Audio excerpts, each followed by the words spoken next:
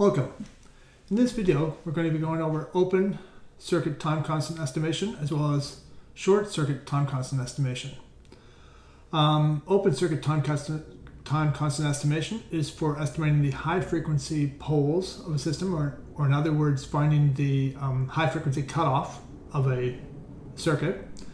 Uh, short circuit time uh, constant estimation is used for estimating the low frequency cutoff of a uh, circuit. Now, there's uh, many constraints that happen with this uh, estimation. We expect that the poles are all on the real axis and that the poles are fairly widely spaced apart. While this seems like it's a very strong constraint, it turns out many circuits actually do have these properties. And so it's a very uh, good method for estimating the high frequency cutoff of a circuit and the low frequency cutoff of a circuit. So let's get uh, to, the, uh, to an example and we'll see how this works. Okay, so as I mentioned, we're going to be looking at open circuit time constant estimation. And as well, we'll be looking at short circuit time constant estimation. So let's assume we'll start off with a system that looks something like this. So in this circuit, we have a couple of um, low frequency cutoff uh, elements. So this capacitor causes a uh, zero at DC, so it's a low frequency cutoff. This also causes a zero at DC. So these are low frequency capacitors. In addition, we have C3 and C4, which both cause zeros at infinite frequency. So they are high frequency capacitors. They cause um, high frequency cutoff. So it, if you look at this circuit, you'll see that we have basically two zeros that occur at DC. And as I mentioned, this is due to C1 and C2. But we also, in this circuit, have um, two zeros at infinite frequency, and these are due to C3 and C4. We know that there are zeros at infinite frequency because at infinite frequency they're a short circuit, and at a short circuit, um, sorry, at a short circuit, when these are short, like this and this, then the output will go to zero. So at high frequencies, the output goes to zero. Whereas these capacitors over here become an open circuit at um, low frequency, so they become an open circuit. So at low frequency, the output goes also goes to zero because we have a resistor R2 going to ground here at low frequencies. So now, because uh, C1 and C2 cause the zeros of DC, we call these low frequency capacitors. And because the C3 and C4 cause the zeros at infinite frequency, we call these high frequency capacitors. Now, if we look at this at mid-band, so when we're below the high frequency cutoff and we're above the low frequency cutoff, then what we'll see is that at um, above the low frequency cutoff, these will look like short circuits. And below the high frequency cutoff, these will look like open circuits. So basically we have this circuit at uh, mid-band region. So at mid-band, we're driving R1 directly, so we can just ignore that. We're also driving R2 directly, so we can ignore that. So we really just have this circuit down here. So in mid-band mid-band region, it just looks like R3 and R4 in, parallel, in series. So we just have that V out over Vs is equal to 1. So this has a gain of uh, 0 dB at mid-band frequencies, not at DC and not at high frequencies. Now, what we want to estimate, though, is the four poles. So what we know is that because we have four capacitors in this circuit, um, there'll actually be four poles. There's also no, um, all these uh, uh, capacitor voltages are independent, so there's no cancellation. So we have actually four poles in the circuit. And we um, notice in this case we have multiple capacitors and we have multiple resistors.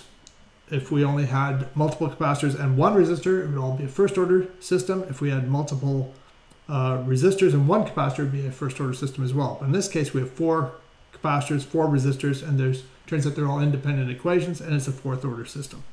So we have four poles. So how do we estimate these four poles? As I mentioned, we're going to be using this open circuit time constant approach and a short circuit time constant approach. So we'll call this the OTC for open circuit time constant and this STC for the short circuit time constant approach. As I mentioned, the short circuit one is for the low frequency cutoff and the open circuit time constant is for the high frequency cutoff. Let's start off with the short circuit time constant approach.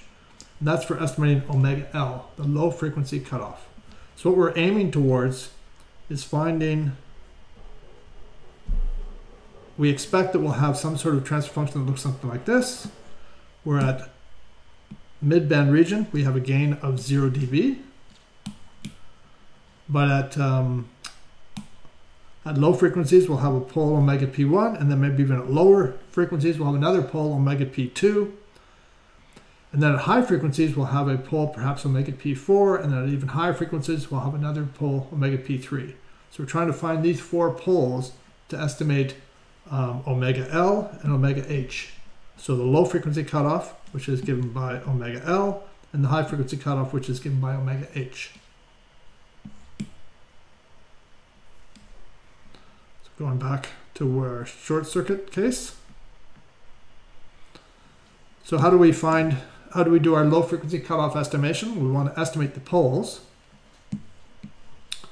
So we will zero our independent source. We'll open all the high frequency caps. So in other words, we're at a frequency which is low enough that the high frequency capacitors still appear as open circuits. So we'll open all our high frequency caps.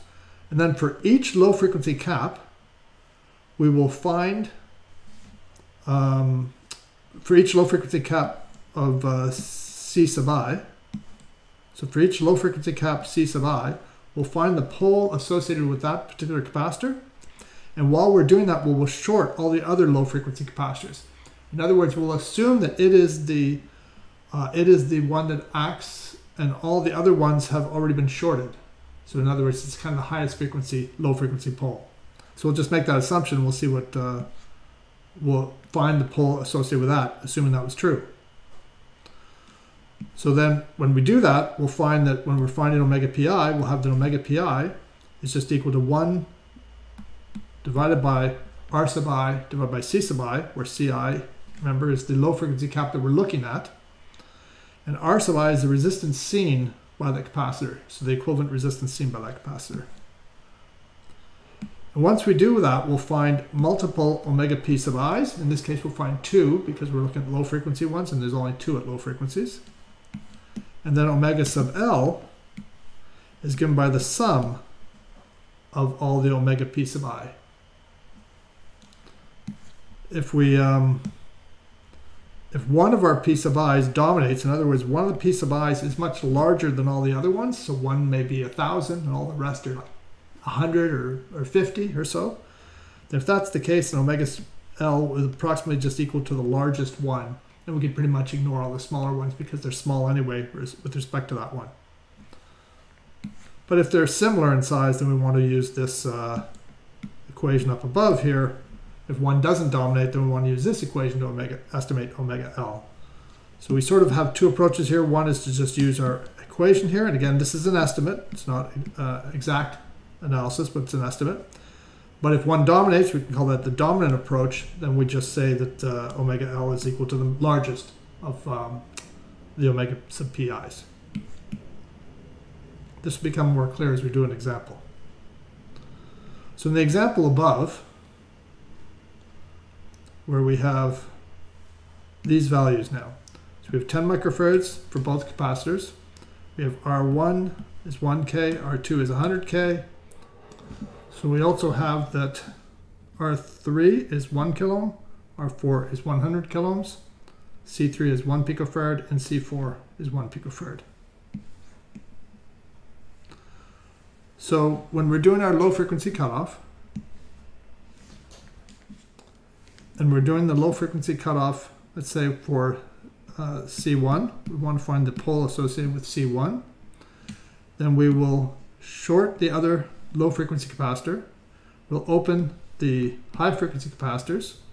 because they're both open now, and this also is not connected to anything, piece about, so we can ignore any current that goes through here will always be zero. So that's now effectively open. What we see is that um, looking at the impedance that C1 sees is the impedance looking across here. Remember we've set this equal to zero, so it becomes a short circuit in this case. So the impedance that C1 we'll see will just be R1 in parallel with R2. So we'll just see the impedance looking down through here and looking down through here to ground and then coming back to over here. So it's just R1 in parallel with R2. So if we go down to this, see that for C1, omega P1 is equal to 1 divided by C1 times R1 in parallel with R2. R1 happens to be much smaller than R2, so that is approximately just then 1 over uh, C1 times R1, and that works out to be 100 radians per second. Now if we do the same thing for C2, going back up to this circuit, now we're looking at the uh, pole associated with this low frequency capacitor. We short the other low frequency capacitor. This is shorted. These are still open as they were before, so we don't have to worry about that. And we see the impedance looking across C2. So in this case, uh, this is now shorted so R1 is shorted. So we can ignore um, R1. Effectively, it's been shorted by this path over here. So we just have R2. So we'll see that the impedance that C2 sees is just R2 back to ground and back around. So we'll see that for C2, the pole associated with C2 is 1 over C2 in parallel, 1 over C2 times R2, which works out to be 1 radian per second. Now, because omega P1 is much greater than omega P2, this is 100, and this is um, omega P1 is 100, while omega P2 is only 1, we can estimate omega L is just omega P1, which is approximately 100 radians per second. So we expect that the low frequency cutoff for this circuit is around 100 radians per second. But for the high frequency estimation, is the open circuit time constant approach, again we zero our independent sources as before, but now we short all our low frequency capacitors because we're assuming we're at a high enough frequency that they all look like shorts. Then for each high frequency capacitor, C sub i, we find the pole associated with that capacitor, and when we do that, we open all the other high frequency capacitors. So in this case, we're opening them, and then we find omega p sub i, which will be 1 over r sub i times ci, where r sub i, again, is the resistance seen by that capacitor c sub i. And then, once we've done that and found all of these poles, omega p sub i, which was found by this equation here, then the high frequency cutoff is approximated to be the sum of 1 over omega pi and then take the inverse of that. So it's like having a parallel combination of all our omega p sub i's, as if there were resistors in parallel. So if there was two of them at the same point, let's say omega p1 was equal to uh, 1 mega radian per second and omega p2 was also equal to 1 mega radians per second, then the equivalent high frequency pole would be about half of that, so 500 uh, kiloradians per second. If one dominates, so if one of the omega pi dominates, in this case would be much smaller than all the others, then the high frequency cutoff would be the smallest of all the omega p sub i's. So going to our example that we have, we can start off with C3 So going all the way back to our circuit. And for this capacitor here, we again, we um, because we're at a very high frequency now, we're going to short C2, short C1, and we leave uh, C4 as an open circuit. And we find the impedance that we would see looking through uh, across C3. So if we added an ohm meter, removed C3 and put an ohm meter at that node. what we would see is uh, because there's an open circuit to the right of R4, we can ignore R4. We would see, um, and this has been shorted as well, VS. So uh, R1 has been shorted, R2 has been shorted, so we would just see R3. So be um, R3 would be the only uh, would be the equivalent resistance seen across C sub 3.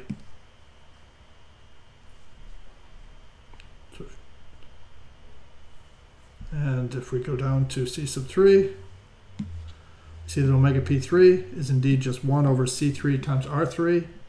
In this case, C3 is equal to 1 picofarad. R sub 3 is 1 kilo Multiply those two together, and we end up with 1 e to the 9 uh, radians per second. So 1 gigaradians per second. We do a similar thing for C4. What we see is when we're looking at C4 now, we'll see R3 in series with R4. Let's just go up and see that for a second.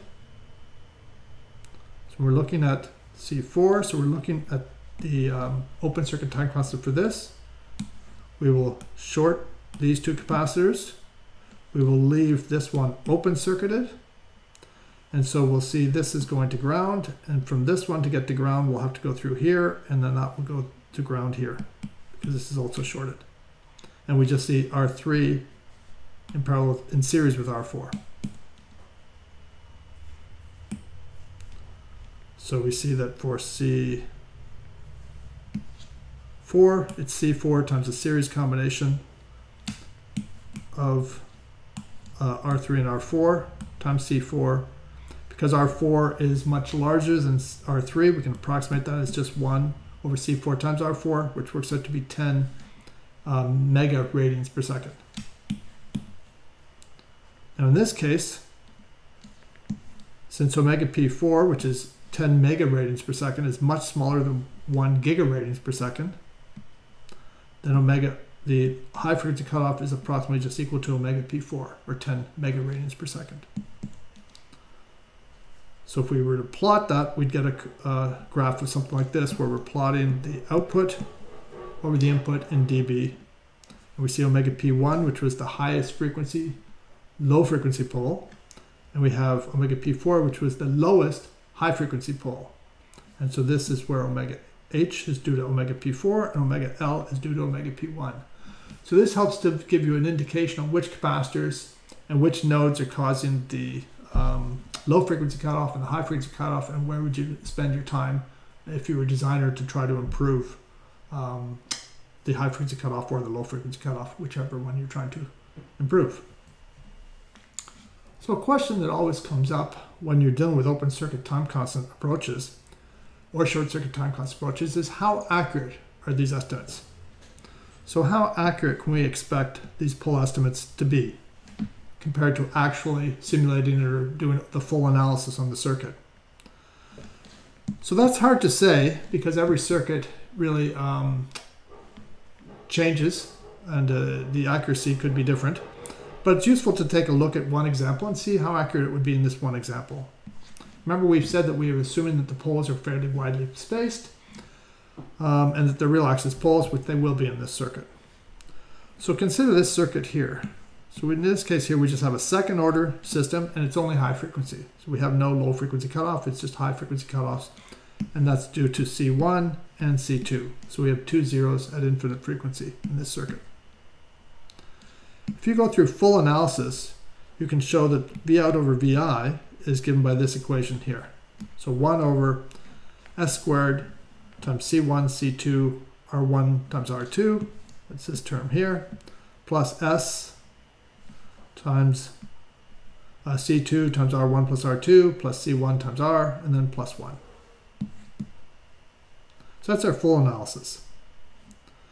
Now our, if we do our open circuit time constant approach on here, we would again say for C1, we would uh, short this, we would leave this open circuited, so we'd just see R1 in, in parallel with C1.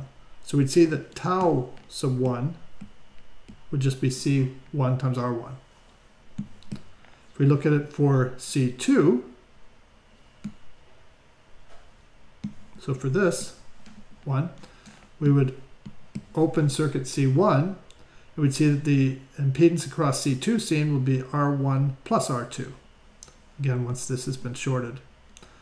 So if we, um, we would find that the time constant for uh, C2, which is 1 over the pole frequency, would be C2 times R1 plus R2.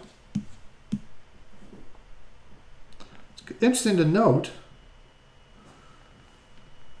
that if we sum C1 R1 plus C2 times R1 plus R2, we get exactly the same value as we get here. So this term here is the sum of our open circuit time constants. And this is no approximation, this is exact. So it turns out that this is not a coincidence. The fact that um, the sum of tau 1 and tau 2 being equal to this term over here can actually be shown to be the case in general.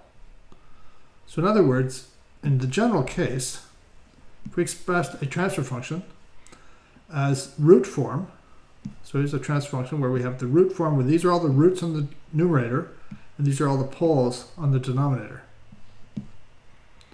So our poles are omega p1, omega p2, omega pn, and so on.